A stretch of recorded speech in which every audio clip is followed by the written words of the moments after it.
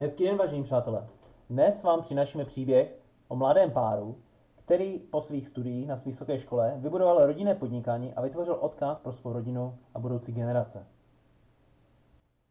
Když Aaron vyrůstal, pracoval se svým tátou na stavbách a brzy zjistil, že to není způsob, jak se dostat ku předu ve svém životě a mít lepší životní styl.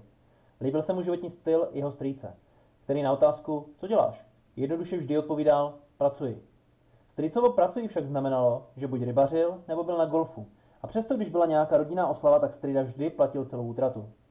Pro Aarona to byla inspirace a věděl, že až vyroste, tak by chtěl pracovat podobně jako strejda. Ve stejné době se taky dostal ke knize Bohatý táta, chudý táta od Roberta Kiyosakiho a začal ji studovat a tak pochopil, že bohatí lidé opravdu myslí jinak než střední třída a chudí. Nicméně, i přesto se rozhodl jít na vysokou školu a studovat kriminální právo a díky tomu se potkal s Hillary.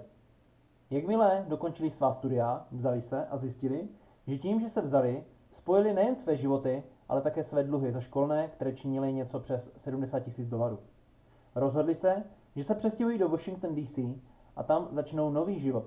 Hillary získala práci pro Bushovu administrativu Bílého domu a Aaron se stal policistou. A začali žít naprosto normální život, tak jako většina z nás. Pořídili si řadovkový dům, začali každý den dojíždět do práce a zjistili, že díky tomu, kolik je ve Washingtonu aut, stojí v koloně každý den 1,5 hodiny cestou do práce a pak další 1,5 hodiny cestou z práce. Protože průměrná rychlost pohybu kolony je tak 10 mil za 40 minut.